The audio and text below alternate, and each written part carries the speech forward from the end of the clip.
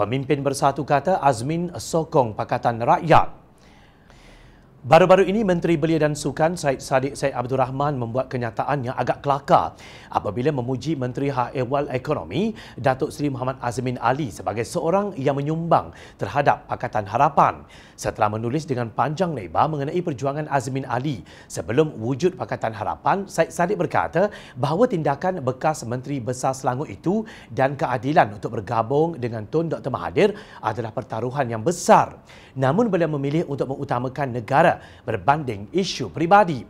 Azmin berjuang seperti seorang pemimpin sewaktu pilihan raya umum ke-14 dan Pakatan Harapan amat terhutang budi kepada semangat dan strategi Azmin yang membawa kepada kemenangan pilihan raya, ujarnya.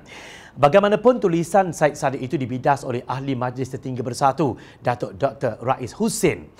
Melalui ciapan di Twitter, Beliau sekolahkan Syed Saddiq hakikat sebenarnya bahawa Azmin tidak menyokong Pakatan Harapan sebelum pilihan raya umum ke-14.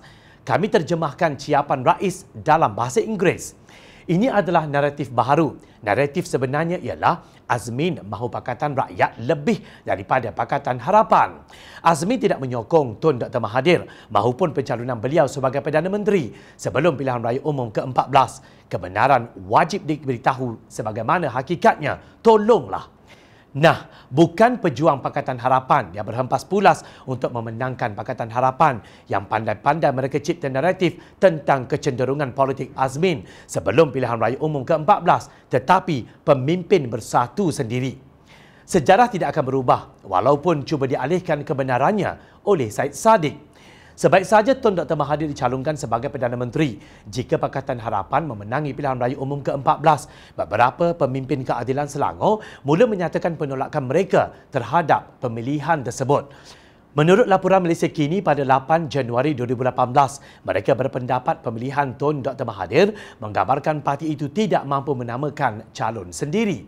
Sedangkan kita menang di Selangor dan Pulau Pinang tanpa Tun Dr. Mahathir ketika itu, kata pemimpin wanita negeri Zuraida Kamarudin ketika itu. Keadilan Selangor dipimpin oleh Azmin yang juga Menteri Besar Selangor ketika itu.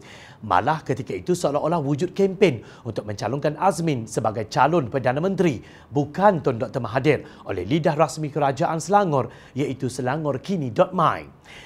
Ketika Pakatan Harapan sudah ditubuhkan di Selangor sekitar 2017, Azmin bertegas bahawa Pakatan Rakyat masih wujud dalam kerajaan negeri. Kenyataan ini bercanggah dengan Setiausaha Agung Keadilan, Datuk Saifuddin Nasution yang berkata bahawa salah sebuah ahli gabungan pakatan itu iaitu PAS mengubah pendekatannya terhadap ANO atau Barisan Nasional. Apabila ada satu parti dalam Pakatan Rakyat yang kini lebih mesra kepada Barisan Nasional, maka tidak ada sebab meneruskan Pakatan Rakyat. Katanya ketika dipetik Malaysia kini 6 Julai 2017. Bagaimanapun Azmin U-turn dan menyokong Tun Dr. Mahathir apabila beliau dilantik sebagai Menteri Hak Ehwal Ekonomi yang baru diwujudkan.